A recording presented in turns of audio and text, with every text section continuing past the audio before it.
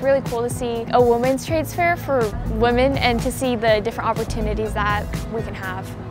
I experienced how to use the control console. So if I wanted to do the TriMet, I know how to like make it go fast, make it go slow, and how the door works. The seats are really cool. They just go up and down with a button, and I didn't know that. There's actually so many little buttons and little things and computers and cameras that all go into just one bus.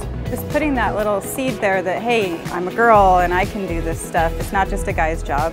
I just want them to know they can do this too, and it's really fun, and it's a great job.